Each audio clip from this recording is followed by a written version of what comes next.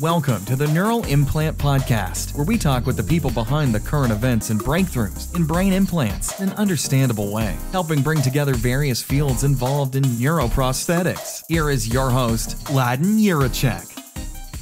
Hey, everybody, and welcome to the Neural Implant Podcast. Today's guest is Kika Tuff. This is actually a very interesting podcast interview because actually she does not work in neural implants, neurobiology, uh, neural engineering, anything like this. She's actually an ecologist, trained, uh, finished her PhD in ecology, but now has become a science communicator. And so we talk about the importance of communication in science and why it's important to craft a good story, make a good website, make a documentary film about what you're doing, and and explain not only to the you know few other people that that like you know why certain birds chirp a certain way but also to the wider world explain to the public why you're doing what you're doing what the broader impacts are and why funding agencies should give you money so i think this is really cool. And then stick around you know till the end. I am going to be announcing something. I'm announcing the launch of something very very exciting. So uh, wait till the end last few minutes. I'm uh, launching this in my conclusion of the episode. So very exciting stuff. And hopefully you will learn something new in this interview.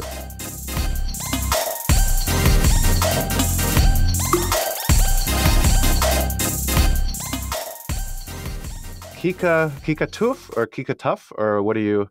Kika uh, what Tough. Are you Kika Tough. Tough. So Kika, uh, Doctor Tough. Doctor Tough. Doctor Tough. Uh, it's a tough doctor to have. yeah.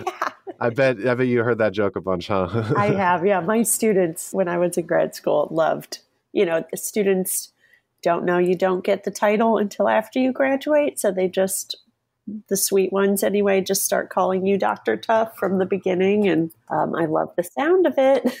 So, anyways, you run Impact Media Lab, which is kind of a storytelling platform, or, or you help deliver stories for scientists. And, and you basically do this through filmmaking, design, website design, photography, all this kind of stuff. And obviously, this is very near and dear to my heart because, uh, you know, I'm kind of doing the same thing, but you do it in the field of, I don't know, preservation or uh, conservation. So, like, I don't know what, what ecology, I guess, right? So, do you want to? I, have kind of kind of butchered this a little bit. Do you want to explain what you do a little bit better than I did?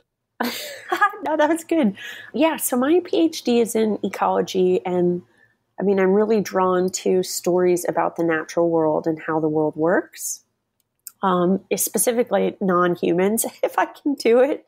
And yeah, the idea for Impact Media Lab really came out of going to grad school and seeing firsthand the burden that scientists have to run a lab and develop curriculum and mentor graduate students and be present as a teacher and and then, sort of after all of that stuff is done, then they're also expected to be storytellers and communicators and designers, filmmakers, right?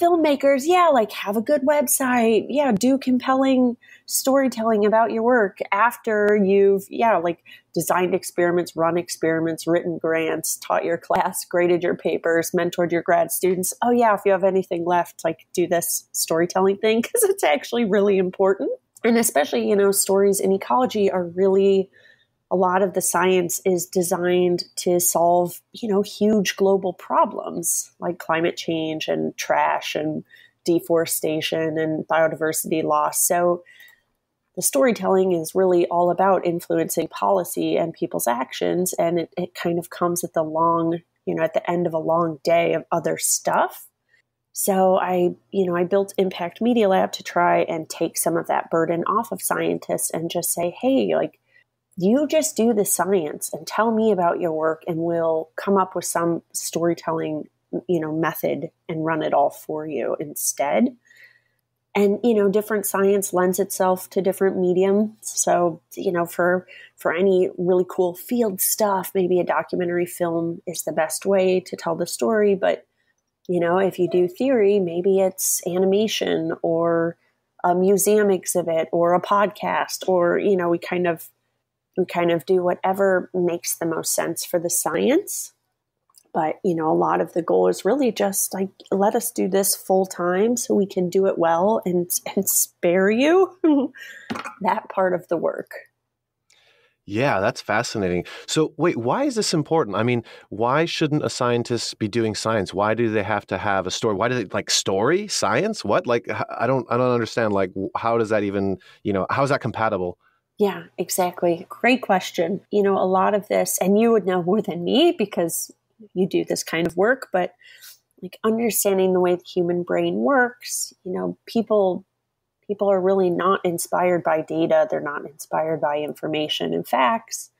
They're really inspired by characters and stories and um, stories about overcoming challenges and you know that emotional connection to to what you're learning.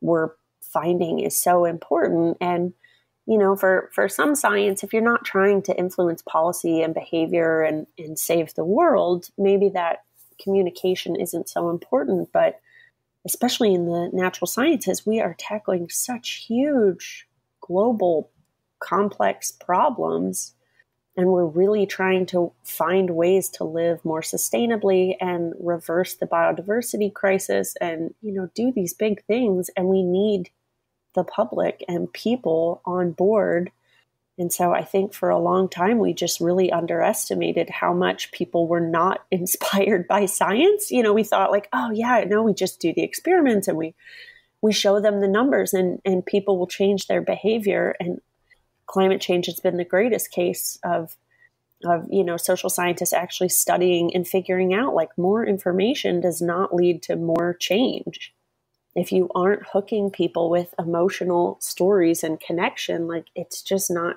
the science doesn't have any impact at all. So, you know, kind of as we're learning more about like, wow, if we're going to really turn this around, we need to become storytellers and and scientists don't have time to add another job to their to their job descriptions. I guess you hook people, but what does that mean? Like, what actual physical outcomes can you know professor or you know some some researcher have out of this? I mean do they get do they attract higher quality talent? Do they get more grants? Are they able to speak at more conferences? Uh, what have you noticed? I mean you you've been doing this for a while. I mean do, do you want to brag a little bit like how many clients how many documentary films you've done like how many people you've worked with? A few dozen growing all the time. I would say you know one thing that i've realized in this work is you know i think sometimes we we think we're starting out at, at one level and we're actually you know 10 steps behind. So when i started the, the work it was thinking that we were going to be doing a lot of documentary films and targeting a lot of our communication efforts at the general public. And what i found working with scientists is that you know i mean a lot of times they're we're really kind of going back to square one with communication and deciding like what is your brand? Who is your audience um, what kind of stories can you tell? And so often we start with an academic audience of like, okay, you know, this is your research. Maybe you study. I've been working a lot on this insect vibrational communication project. So that's the one that's freshest in my mind. But, you know, like, okay, you study these insects that they communicate by tapping on plants and they produce these really beautiful, complex sounds that humans have never heard because you know, it's not airborne sound, it's substrate borne sound. And so, okay, you know, let's come to this project and decide like what what is cool and universal about this. There's this really amazing discovery aspect to the project because it's this entire world of language that we've never heard or considered before. Okay, we can play with that a lot to hook the general public and just get them inspired to think differently about insects and insect communication. And, and then the project leads into how does um, climate change affect it, it kind of shuts this conversation down because things get too hot and they change the frequency of the sounds that they create and you know there's kind of all this other implication stuff that we get to but we you know we really had to start with like let's just help people discover something new. And there's a lot of power in that. And it draws a lot of people to science, which, of course, then you're attracting new people to STEM. And, you know, I feel like with every communication effort, you're hitting all of these important things. Are we attracting underrepresented groups to science? Are we inspiring a generation of scientific thinkers? Are we inspiring people to want to conserve insects and think differently about the natural world. And, you know, we do all of that through this very simple storytelling about this world of insect communication you've never heard of before honestly, our audience probably isn't that interested. I mean, it is interesting, but that's not why they tuned in into this uh, podcast. But but yeah, so I guess the real like physical benefits from this, like what kind of return on investment could you expect as a researcher? Oh, okay, yeah. So as a scientist doing the communication, so even with this project, this is a good example. So we started with the grant writing. So we worked on the craft of storytelling to get the grant. So so it was the largest NSF grant that I I've had gotten I guess it was the first big NSF grant that we got as an agency with a scientist. So it was half a million dollars to do this study on insects. So it started with like, okay, good storytelling produces a better grant, makes you more likely to get funded. Okay, this grant flew through the review process. They had zero critiques. It got funded in full the first time around. Okay, great. Now we move into the communication on the website. Like that's helped her attract students and collaborators. So, we, yeah, we built this website about the work and about her research more broadly. And I mean, she gets, you know, she's kind of one of my good testimonials, but she gets emails every week just talking about how the site, you know, is how clear everything is, how easy to understand, how compelling, how like great it is as a reflection of who she is as a professional and her research. So, you know, it, it kind of you know you're you're changing your credibility when you can tell your story well and that helps you get noticed for she's been on npr a bunch now and you know like it, it helps you get noticed it helps you get recognition for the work it helps you stand out as a communicator so you get invited for speaking opportunities um, some of those public like she does a lot of talks at the public library but some of them academic with a paid you know, speaking stipend. So people will fly her all over the place to talk about this work. And, you know, sometimes you get paid for that. So I think the return on investment of good communication is, you know, not just for the public, but yeah, for for attracting students, for attracting funding, for attracting collaborators. You know, I think anymore in academia, you you don't often stay at the same university where you first get hired or even if you want to argue for a promotion or something new at the university you're based at, a lot of times that's done through job offers. So you have to go somewhere else, get the offer so that you can talk to your university, your university about paying you more money. You know, so good communication helps you get more job offers, uh, which can lead to promotions at your own university or, you know, leaving to actually go to another place. So wow, that's incredible. Yeah, that's that's pretty clear. and and you've seen this happen with your clients though, right? Yeah. Yeah, I mean it happens all the time. Jeez, that's crazy. I actually didn't know that you did the the grant writing or, you know, that you were assisting with that, but I think that's huge too. Like telling a story, like who does it? What scientist, what researcher doesn't want to just, you know, breeze through the review process? And a lot of scientists will sort of know this intuitively because if you've ever reviewed grants, you know, or reviewed papers, it's just like it's such a bore so much of the time. So if anything compelling comes across your desk that is designed to hook you, you know, I think that's what a lot of good communication is like putting the hook early, not always starting with the just the biggest, broadest facts and then narrowing down to like fact after fact after fact, which is often how scientific writing is done. If you can even be compelling in the process, like man, the second you read the proposal, it, it stands out because it's rarely done in science or the paper, you know? So okay, so for the the grant the grant process, I mean, you're as you said, you kind of started out in filmmaking. You're, you're still like kind of a filmmaker at heart, like a documentary filmmaker. But I mean, obviously, can't necessarily staple a DVD to a grant proposal, right? So how do you integrate that? Is it is it literally just like text, or do you also put like animations in or images to to really hook the person? For example, for this grant process. Um, so for the grant process, a lot of times it's just the pitching of ideas. So, so I mean, the filmmaking is really the new, new to me. i have been in science a long time, so I feel no, more confident as a grant writer than I do as a filmmaker. so it kind of started with, you know, like I have my PhD, I have all of this training in grant writing. I could bring the compelling storytelling side to the writing as well. And at least like having, I think, you know, this is kind of true of a lot of branding. It's really hard to do for yourself.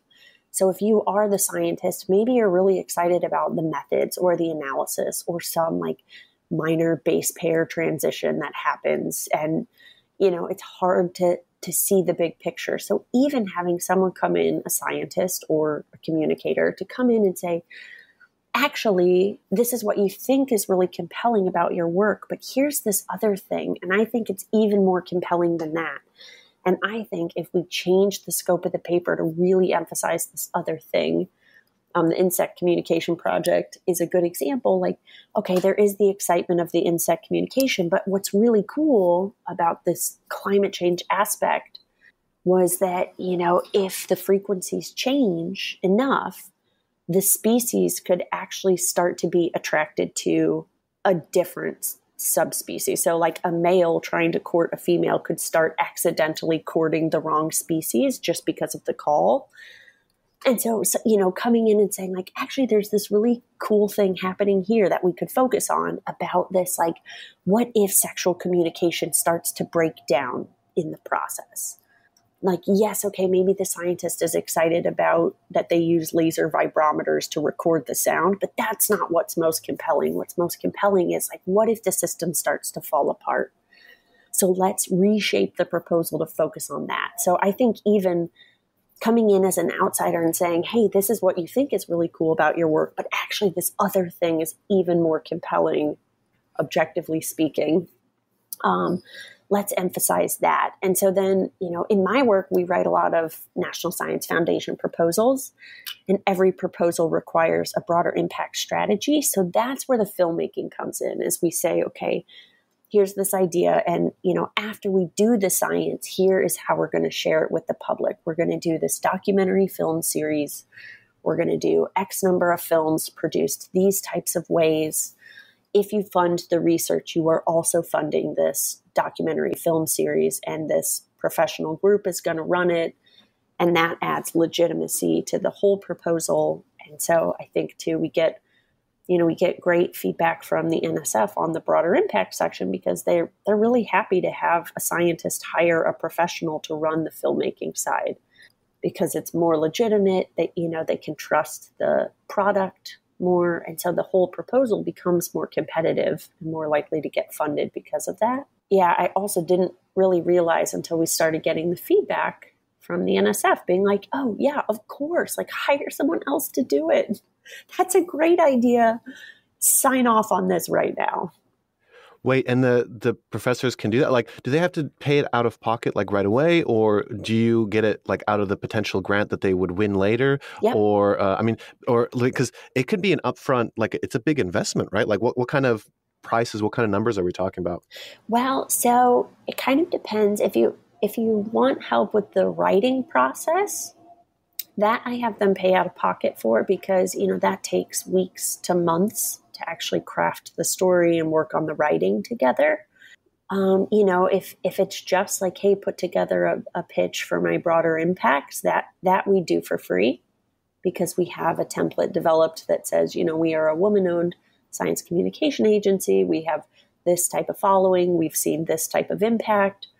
Um, you know, we'll run we'll run a documentary film project for this scientist for anywhere from ten to twenty thousand dollars is usually the budget of film work, sometimes more, sometimes less. But so that's easy, and we do it for free because you know you just put together a, a template that gets inserted into grants Interesting.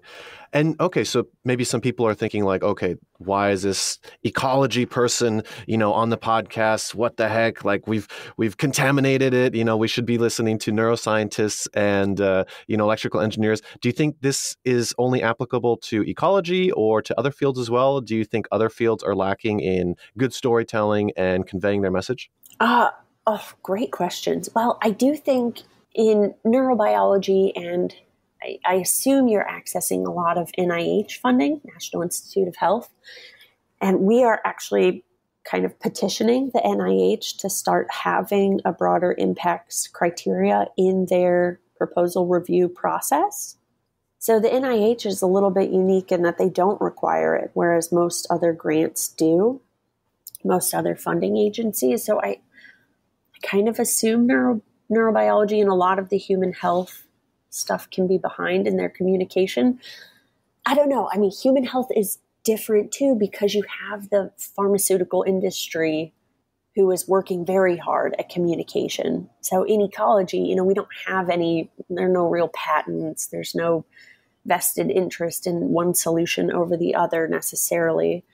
Um, so you don't have any of the corporate communication happening. So I don't know actually if that's a good thing or a bad thing in neurobiology. Like maybe you are up against, um, you know, sharing your science in a way that may conflict with what a company says your science says. It could be more important because you're dealing with human health where there's, you know, big money on the line sometimes. I don't know enough to know, but I do know, I mean, anybody sort of science not communicated is science not done, right? If no one finds out about your findings and, and what they mean and what it took for you to get there, then you may as well have not done the study at all.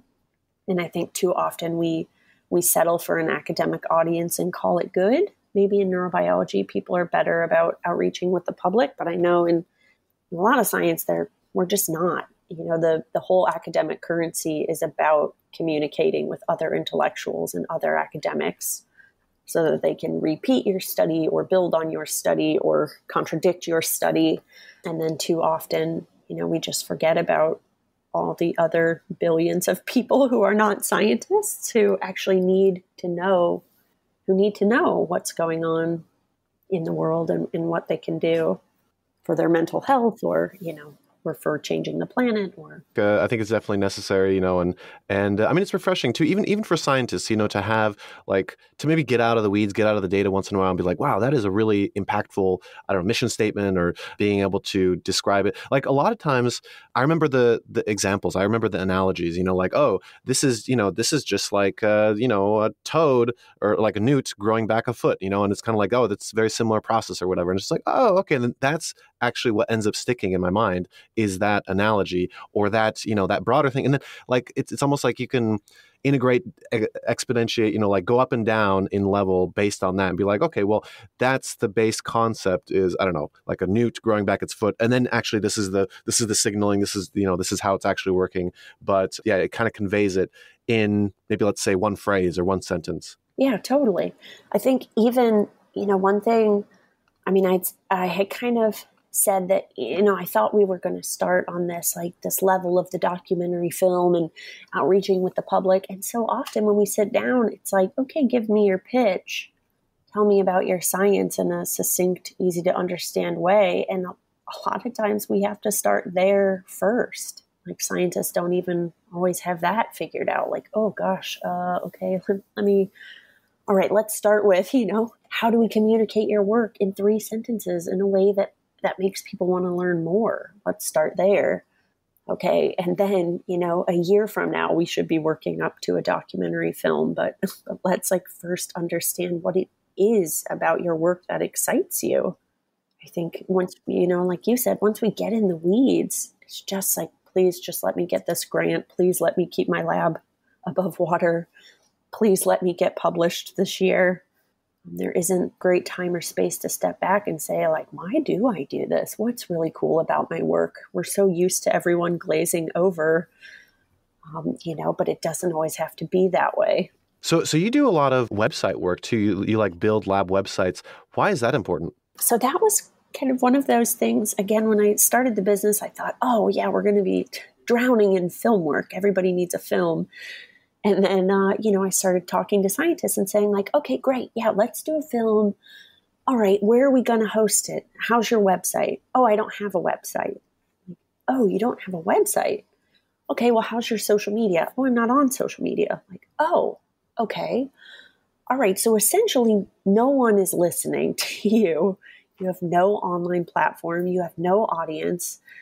Instead of making a film let's start with a website. This is kind of how the conversation went client after client before I just started doing the work myself and pitching people starting with websites, you know, at the start of the conversation because if you don't, you know, I mean, if the goal of a film is to draw attention to your work, and then when people are interested in your work after watching the film and there's nowhere to go, then what's the point? You know, if you don't have a good website for them to to go to after they've seen the film to actually learn the details and connect with you and and engage in a in a real way, then then what was the point of getting them so excited? So now we start with like, okay, let's do branding and website and, and audience building as a first step.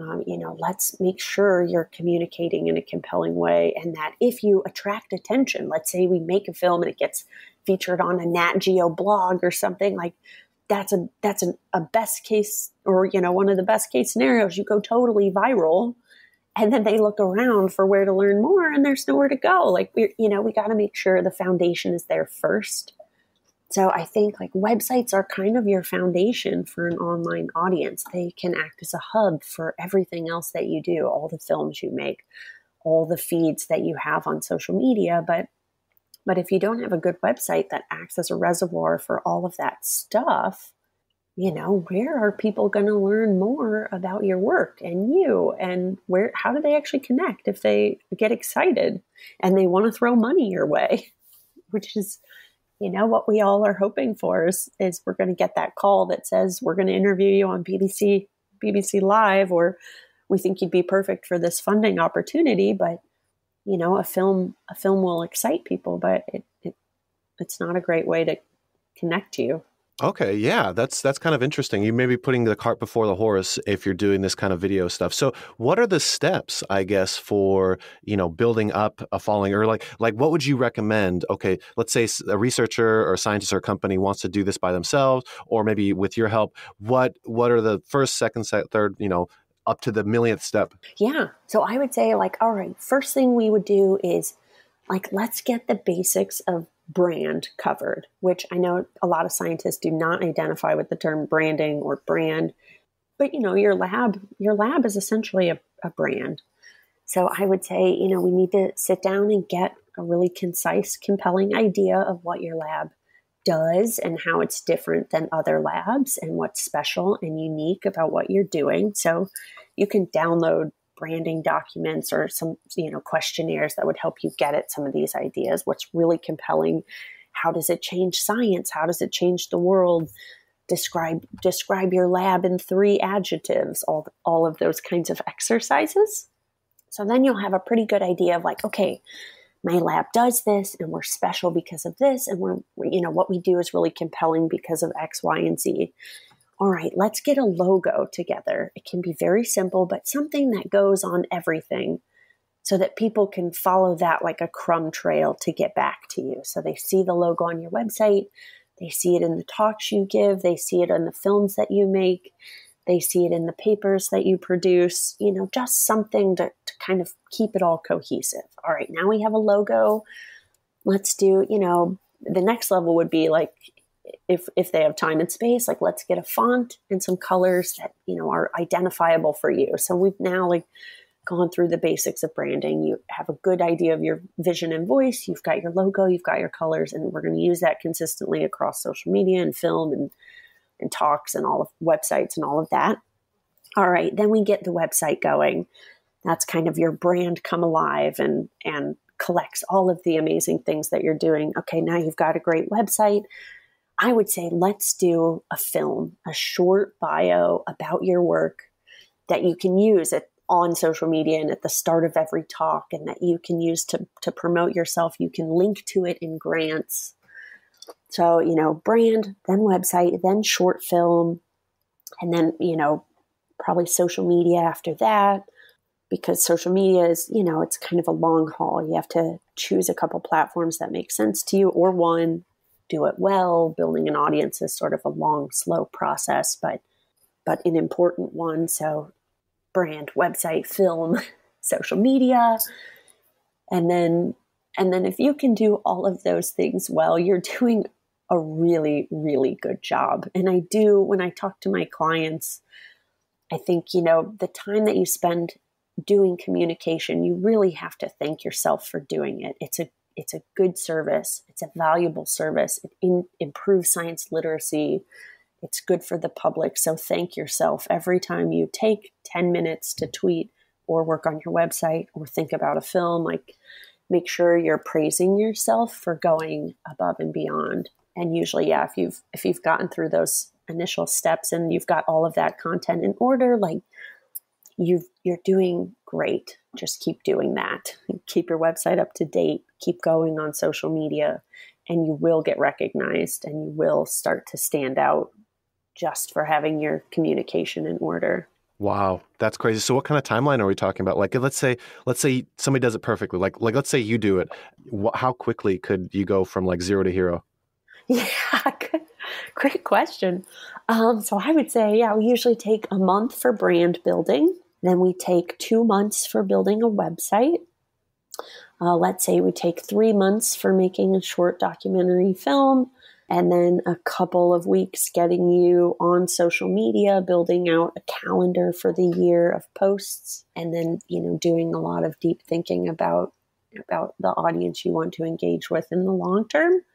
So in theory, you could get yourself up and running in a year, but you know my experience with communication is that things don't go viral in the way that we all fantasize about.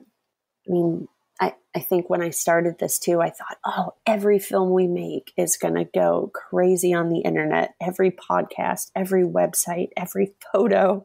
And you probably know, like, oh, it just doesn't really work the, that way. The internet is a very noisy place. You can more reliably expect that it's going to take a couple years of putting in the time for people to start to notice. So I'd say, you know, plan on a three to five year timeline of like really building a fan base of people that love your work and follow everything that you write and everything that you do, every blog post that actually go download your papers. And, you know, so you can get sort of zero to there in a year. And I'd say in three years, you should be in a you should feel like you're in a totally different place than you were when you started, where you have a following and people writing to you and and you know people raving about your work globally or locally.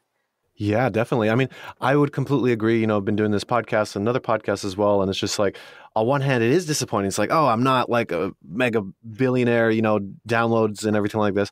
But at the same time, it is really rewarding because you do get feedback, and that feedback is way more impactful than you know seeing a million on your downloads list.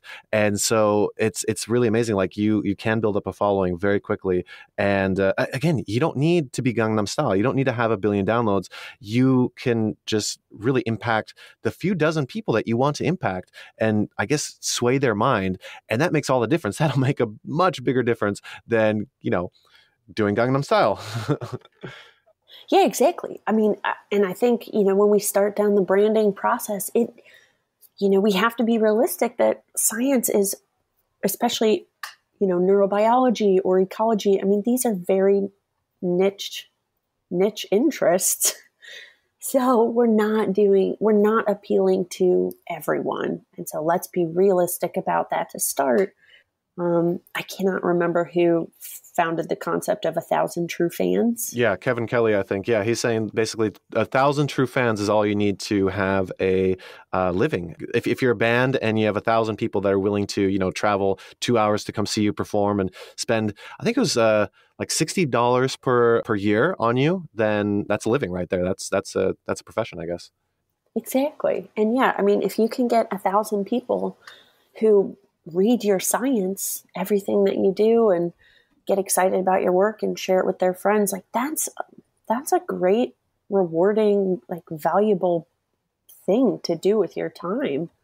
Um, we don't need a million people to to feel like what we're doing is important. And it's always going to be you know i do think in the communication in the communication world like you will be surprised the numbers that you see compared to say citations or downloads of your scientific papers you know, we the first film we made, I was very disappointed because you know we had 800 views the first week or whatever, and I thought, oh, 800, like, you know, we all expected like, oh, it's going to be millions and millions and millions, but then we could step back and say like, well, how many people downloaded the paper?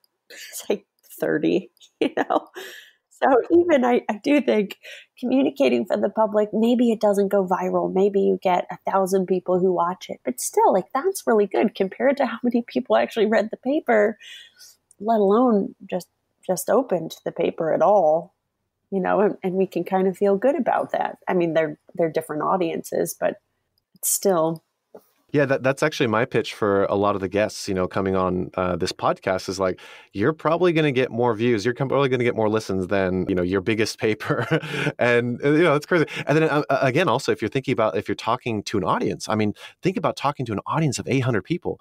That's, in, that's insane. That's like, that's like life goals right there. You know, like imagine all those people in front of you, you know, so that's not even, that's not even nothing to laugh at. You know, that, that's a lot. So, Kika, this has been awesome. Thank you so much. Is there anything that we didn't cover that you wanted to mention? Believing in believing in the power of your work, it's really easy to get disappointed as a scientist. Like, you know, 9 out of 10 grants are going to get rejected. Most of your papers are going to get rejected the first time around. Like, you know, it's a it can be a tough business to be in and it's easy to start to feel like what you're doing doesn't matter, but there is always something compelling that attracted you to the questions that you're pursuing.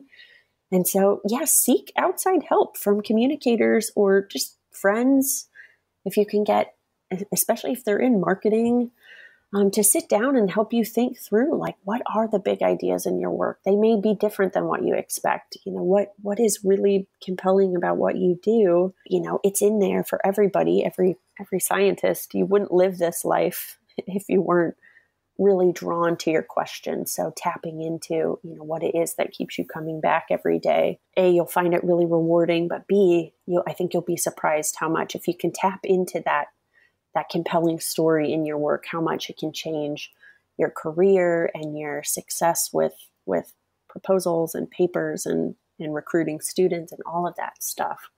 So it's worth the time it takes. It does take time, but but it's worth it definitely like if you can't do a science communicator then then ask your friend like you said well that's assuming you're friends you have friends right? But uh, that's that might be a big assumption for some scientists.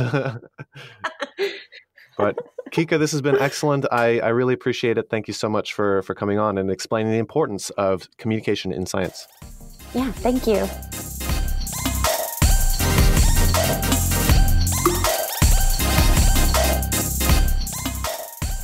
everyone, I thought that was really good. And, uh, you know, we were talking later, and it's just like, well, you know, one person, one professor, you know, stood up and objected at one of her talks, like, hey, you should teach scientists how to you know communicate and how to tell how to do storytelling on their own you know like this isn't something that people should contract out. And i mean you know that is true like you should know about this but at the same time you know this is your career this is your life that we're talking about and so the same way you wouldn't necessarily represent yourself in court you know with like your life on the line with you potentially needing to go to jail or pay a huge fine or something like this if that happens. I'm not saying that would happen to you because you know all my listeners are you know law abiding people and that's really good. But you know, you wouldn't necessarily do that or or a car mechanic. Like you don't necessarily always fix your car because again your life is on the line. If you mess up if you forget to you know put in the wrong screw you could die. You could just like your wheels fall off in the middle of the freeway and it's just like oh you know and there, there was a bridge you know and, and a and a bus full of nuns or something like that just making the situation as bad as possible. So you know you you kind of you outsource this stuff. And that's that's why we do live in a society. That's why we do have this kind of system where people specialize in different things. You know so you have cooks, you have, you know, restaurant owners, you have street sweepers, you know, people that do all these different things that are professionals in these different things. So you can trust them and their work. And they're probably going to do better work than you would have done if you would have just, you know, watched a YouTube video and, and uh, done it yourself, you know. So uh, let somebody who's a car mechanic uh, work on your car. So I think this is, you know, very, very important. And this is kind of goes in with my announcement for this episode.